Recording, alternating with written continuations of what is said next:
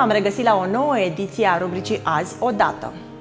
Înainte de a face mișcarea de dimineață alături de Consuela, haideți să aflăm câte ceva despre ziua de 15 februarie. În 1564 s-a născut Galileo Galilei, fizician și astronom renascentist.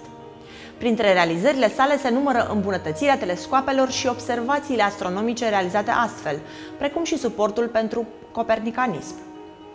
Galileo a fost numit părintele astronomiei observaționale moderne, părintele fizicii moderne, părintele științei și părintele științei moderne.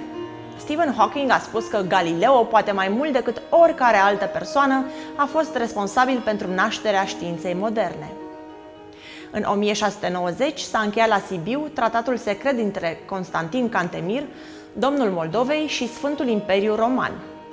În tratat se stipula că Moldova va sprijini acțiunile anti-otomane ale Imperiului condus de Casa de Habsburg. În 1864 a apărut revista România Militară, devenită la 8 decembrie 1897 prin decretul regelui Carol I, revista oficială a Marelui Stat Major. În 1933, la București, a început greva ceferiștilor de la atelierele Grivița, care a ținut până pe 23 februarie. Greva s-a datorat condițiilor din ce în ce mai precare de lucru ale ceferiștilor, în contextul marii depresiuni la nivel mondial, care a afectat România în mod semnificativ.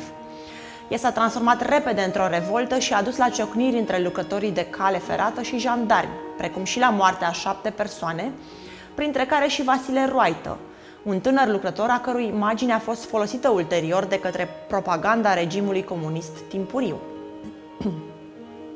În 1949, pentru prima oară, problema lichidării marii proprietăți agricole a apărut pe ordinea de zi a ședințelor secretariatului Biroului Politic al CC al PRM.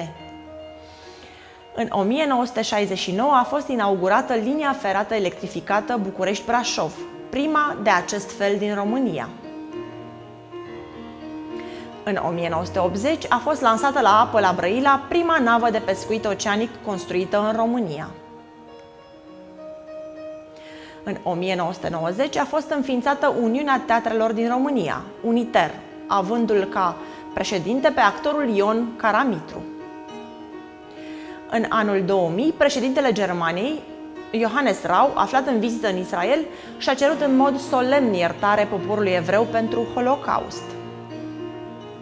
În anul 2013, un meteorit a explodat deasupra Rusiei. 1500 de oameni au fost răniți de cioburile de geamuri sparte sau de obiectele deplasate de unda de șoc.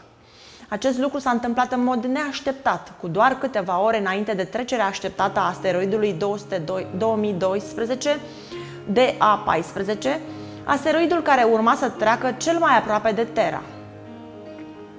Astăzi s-au născut mai multe nume marcante românești.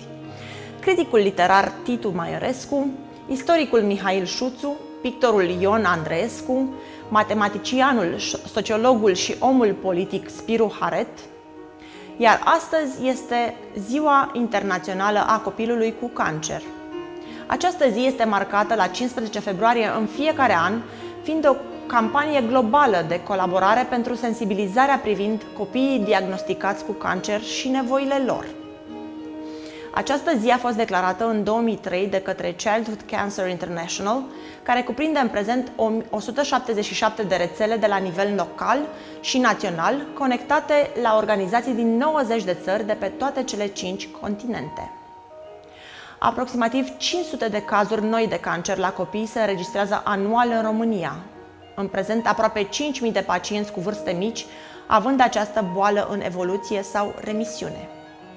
Aproximativ 200.000 de cazuri noi apar anual la nivel mondial, incidența fiind între 8 și 16 cazuri noi la 100.000 de copii.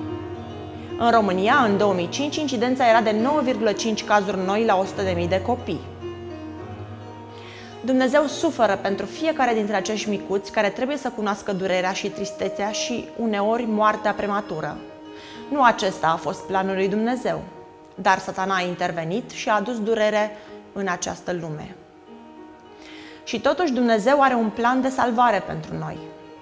Apocalipsa 21 cu 4 spune El va șterge orice lacrimă din ochii lor și moartea nu va mai fi. Nu va mai fi nici tânguire, nici țipăt, nici durere, pentru că lucrurile din tâi au trecut. Sunt Rahela Petrescu și vă aștept mâine dimineață de la orele 7, 8 sau 9 pe Light Channel TV pentru o nouă ediție a rubricii Azi Odată. Acum vă las în compania Consuelei și vă doresc să aveți o zi excelentă!